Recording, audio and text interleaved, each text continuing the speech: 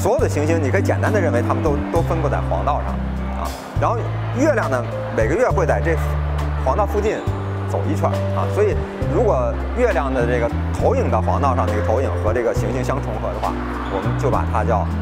这个行星合月，就是因为月球呢，它是每个月绕着我们地球转一圈儿，所以呢，相对于星空背景，它就会在它的整个的这个星空背景上，呃，白道附近的这些星都会走走过去。这样的话呢，其实每个月都会发生每一个行星的合月。那么在这几颗行星里面，金星是最亮的，所以呢，相对而言呢，金星合月也是相对来讲就比较观赏的效果比较好的。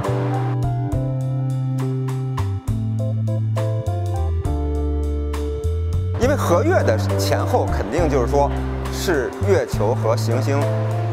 最近的时候，或者说比较近的时候啊，所以呢，就是呃，对合月来讲，一般来讲，我们就是指的某一天适合观测，比如像今天，那实际上就是说，今天的傍晚的时候是金星和月亮，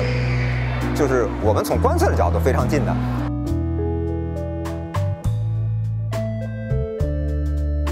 今天这次的金星合月呢，就是说合月的时候啊，就是下午四点钟的时候，它们最近的距离，呃，实际上是在四度多，大概四度半左右。呃，但是因为我们傍晚我们能观测它的时候，其实它又远了一点，差不多我估计在五度左右吧，五度就是十个月亮直径那么大，那么远啊，所以实际上还是比较远的。那么最近的时候，就是说如果你角度合适的话呢，实际上你是能够观测到月眼金星的。你就能够看到这个月亮呢，实际上它会走走把把金星挡住。呃，像我上一次看是，应该是二零一二年，在长春那次，它是一个农历大概二十，农历二十九左右，是早上起来的时候，天亮之前在东面，然后呢是一个小月牙，这小月牙呢正好从金星正好从小小月牙那儿把金星挡住，然后过了过了一阵儿以后呢，它会从月亮的暗面那个地方出来。当时就有点像那个日全食那贝利珠的那种感觉，那种情况是是是是，那那那是非常有意思的。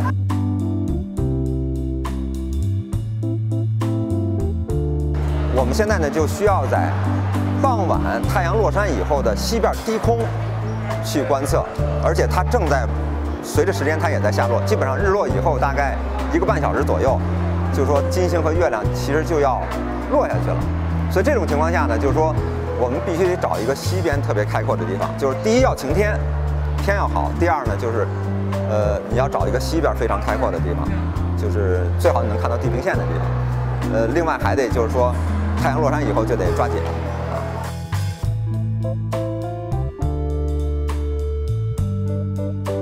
金星合月呢，因为下一次呢，其实就是，呃，应该是在九月十号和十月十号，其实也都是初四左右啊，初三、初四，差不多都这几天。这两天其实最大的天象其实是英仙座流星雨。